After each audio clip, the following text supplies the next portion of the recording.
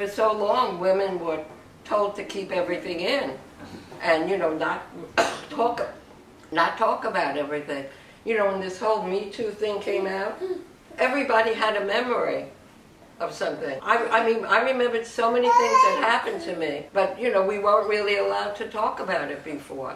And once that came up, well, my patients started talking about things.